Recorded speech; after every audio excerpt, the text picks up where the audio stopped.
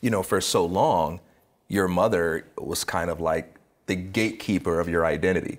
She possessed this knowledge about your origin story and she protected you from that story. Yeah. Good intentions, but you didn't have the the missing piece of that puzzle. Right. And you experienced most of your childhood in a kind of a state of confusion. And then once you get that missing piece, you get to be in control of your identity and you say, all right, now I embark on my journey. Yeah. And I'm, and I'm going to figure out who I am and I'm going to define what that means for me. What would you say for you now at this stage after, after all of those years, all of that study, all of those experiences, like with the Black Panthers and so forth? For you, what does it mean to be a black woman? The thing that I get the most excited about is being in a position where I am now. I'm 48, and I am so excited to be 48, to have gone through um, teens and 20s and gathered this information along the way.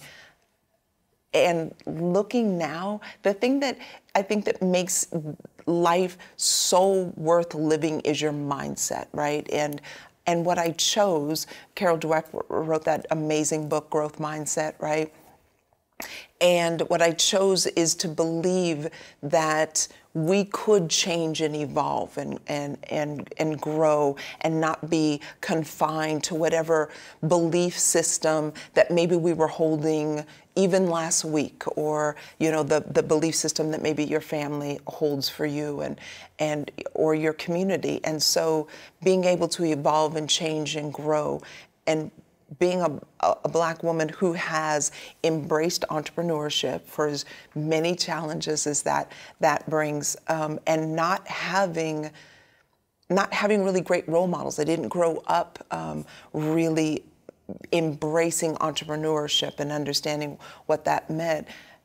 But I get excited because there are opportunities now that young black students, chiropractic students, I get a chance to talk with them um, at times, and being able to inspire them that you're going to reach for something it might as well be shoot for the fences. Like go all the way because you never know what it is that you're going to be able to create and accomplish in your life. And for me just having that growth mindset being committed to being a better version of myself um, I think I told you earlier the thing that I appreciated is what you had spoke about before about those non-zero days. Mm-hmm. um, far too many of those happened for me early on um, after I became a mom and and that was the thing that I wanted to do with my whole heart was to focus on just being a mom.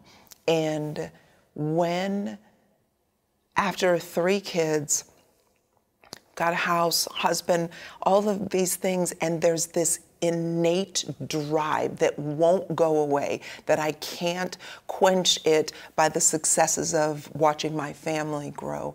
And the thing that I knew that I wanted to do was just pursue something that was bigger than what I, my vision, what I could see currently. And although it was terrifying, just the idea of being able to rely on that courage and step forward, forward and at 36 saying, okay, I want to do this other thing and not feel that mom guilt or the shame that if I choose this, if I choose to go back to school, if I choose to reinvent myself, then that means that I'm not choosing to focus 100% on my kids' development and watching them. And as a mom, it was a pretty difficult um, space to be in. I, I, think that I'm extremely blessed. My parents were phenomenal. My mom ended up marrying when I was um, in third grade to a phenomenal man.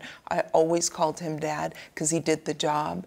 Um, and so I had a really great role model. So the idea then that I was going to choose something um, for myself and to go back to school, that sacrifice of what I knew that my family would have to give up would be pretty tremendous. And I was not, I wasn't 100% courageous. Like I sort of dabbled my toes in a few classes um, and then a few more. And then when I finally made the leap and said, okay, I'm going to graduate school, and this is what it's going uh, to look like.